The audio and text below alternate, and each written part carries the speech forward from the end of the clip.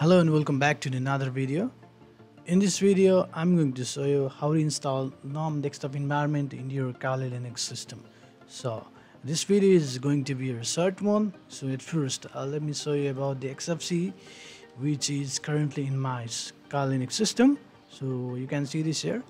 Uh, XFCE is uh, another desktop environment which is currently in my system. So I want to replace it as the GNOME so personally i prefer GNOME over the xfce and other desktop environment because uh, it is quite elegant than others. So to install the GNOME desktop environment um, you need to open the terminal and you need to type sudo for the um, root privilege and type sudo apt um, update to update the uh, repositories uh, in the Kali system.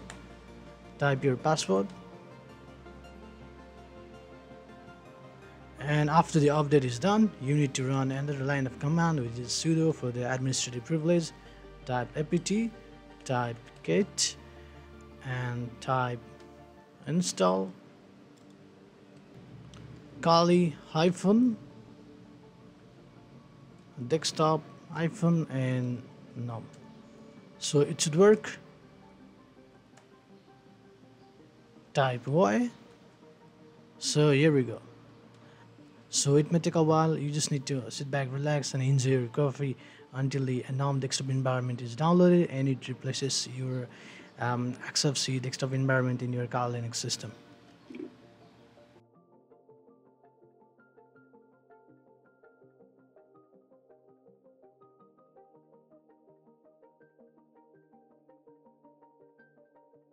So basically, um, there are two display manager.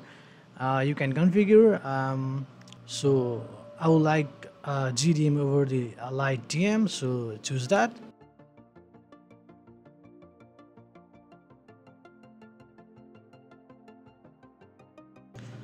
So after this is done you just need to uh, reboot the system so type reboot.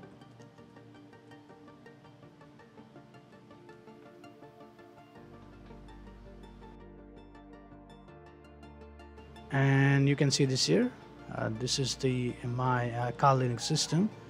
And inside here you can see this here. This is the GNOME version 46 so you can see this here. The XFCE desktop environment is replaced by the GNOME desktop environment.